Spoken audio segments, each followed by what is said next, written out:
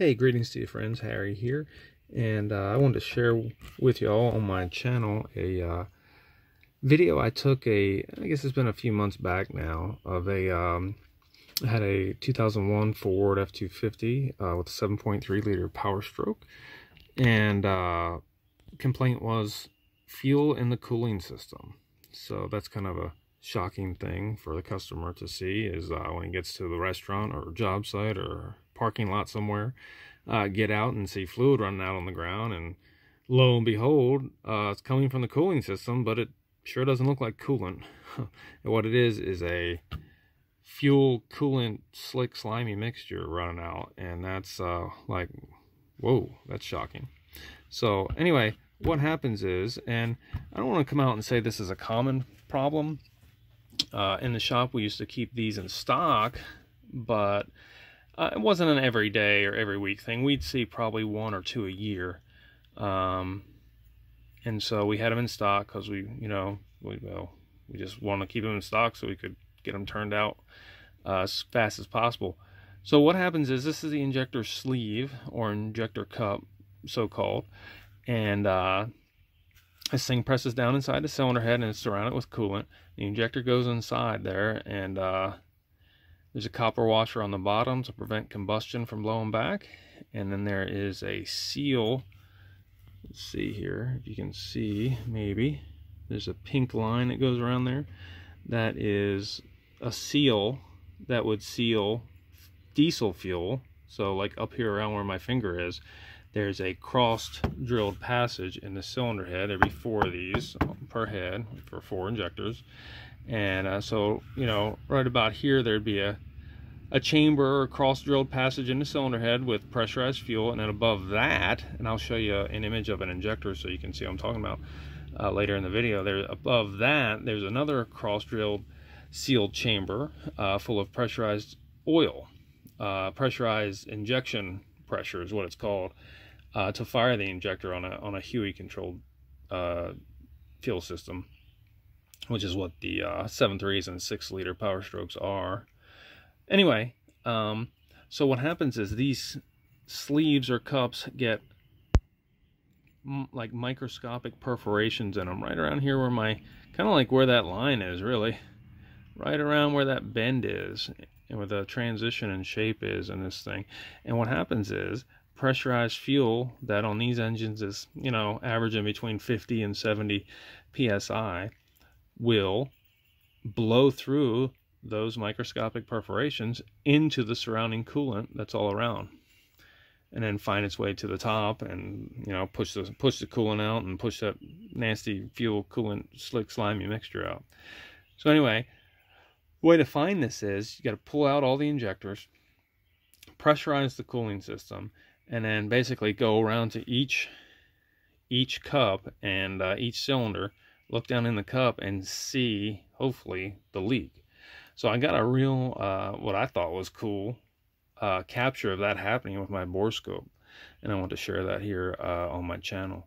So anyway check it out. Any questions comment down below. And uh, or any comments or your own adventure with these things uh, shoot me a comment, shoot me a like, and uh, if you want to see more, subscribe.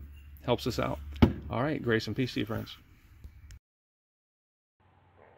All right, so here I am on this truck, uh, taking this thing apart. I figured I'd put some of this in here. Uh, this time-lapse stuff is kind of cool, and um, I didn't want this video to be instructional or anything like that. Just really kind of informative and entertaining and just to show some stuff that uh, you usually don't see very often. Like uh, I call it a bug's view.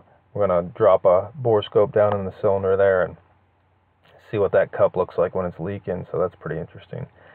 So this is just some video here of me uh, getting access uh, to the injectors. Uh, it's not too bad. Um, you know, the older these things get, they quit making them in 03 and so the older they get, they're a little bit harder to get apart. The um, you know plastic stuff uh, starts to break and stuff. So anyway, there's the injector. Is injectors are out, and we're going in the cylinder number one with the borescope. There I am, using my borescope here, going down, going down, down, down into the cup there. Like old Jonah went down, down, down, right? All right. So we are in the, we are not in the cylinder, we're down in the cylinder head. And uh, like it says on the screen there, it says cooling system pressurized. So we've got to have the system full of coolant still and pressurized uh, at 15 pounds.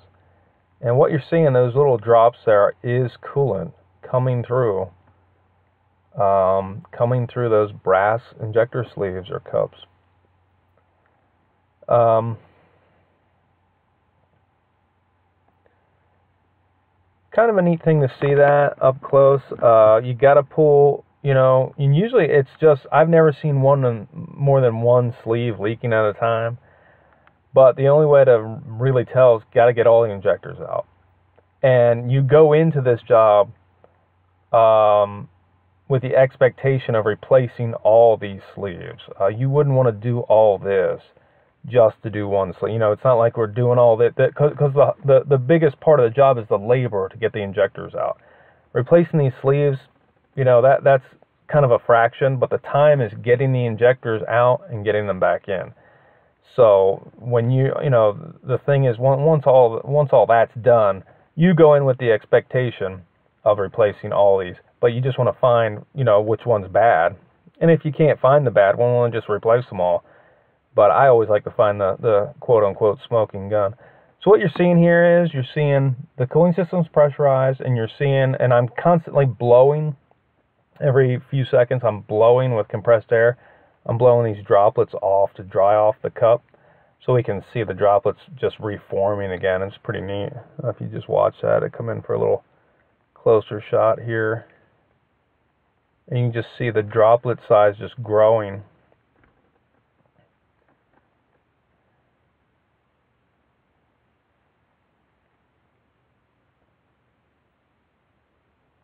blow it off again here. There you go. Just blow it off with compressed air and you just watch them reform. And you see how close I am. You can't see the holes.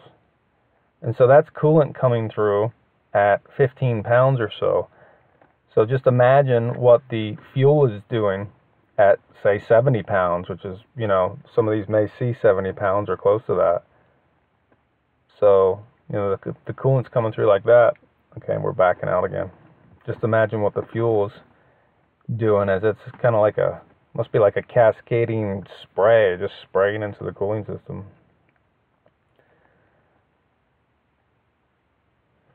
Oh, there I am. I'm happy. I just put a few shots in here pulling this, um, pulling these uh, cups out of the head. Got a special tool there. Uh, it's a big tap. Threads right into them that brass pretty easily and then uh, it's a really good tool. And then that thing use that now, of course you want to make sure that the uh, cooling system's drained at this point or you're gonna have a huge mess. Uh, pulls that thing right out. Here's the bad one. I wish I had the bad one. I had them all stacked up and threw them in the bed of my truck and uh, I don't know if one slipped the it actually when I took it off of this tool it actually broke. See me wiping it off there. You can almost see the line and here's just a shot of me uh, pulling these, uh, taking the injectors, um, and we're going to put all new seals on them, of course. Which takes some time. Get all these seals off, and then you want to just clean them all up real good. Never want to use a steel wire brush on the end of that thing. Um, on the very tip, there's some microscopic holes drilled and uh, if you want to clean that up at all, you just use plastic or a brass brush. The steel brush or steel uh, wire brush will actually uh, can elongate the holes or um, kind of make those holes less precise, which will mess up the spray pattern. So clean them all up, and you can see I got them all resealed there. I'm just going to show you a shot of me resealing uh, putting the new seals on there. And there's a backup ring that goes on first, and then there's a like a square cut seal, then an O-ring. And that seal right there is going to seal the high pressure injection uh, injection control pressure, which you know varies anywhere from zero to on this engine probably close to 3,000 uh, potentially. So that that seal there is the very top seal. Got a backup ring, then that seal, then an O-ring. That's going to keep the high pressure oil from coming out of the uh, out of the cylinder head. And then a pink seal. Well, after that O-ring. Then a pink seal is going to go on, which is keeping the injection control pressure and the fuel chamber separated. So between that pink one and the, the first ones I put on is high pressure oil. And then this one here is actually, you see in the insert there, that's the fuel chamber in the head, and that is where the cup is leaking. Right there where that arrow is pointing, right in that area. So that's where the where the fuel pressure is, and that's where the uh, the cups go bad. Right in there. Well, anyway, I'm just going to finish this up. I appreciate y'all watching, and uh, give us a subscription for more content. Click the bell, get alerted, okay? And send us a like, and we appreciate you. All right. Grace and peace again, friends.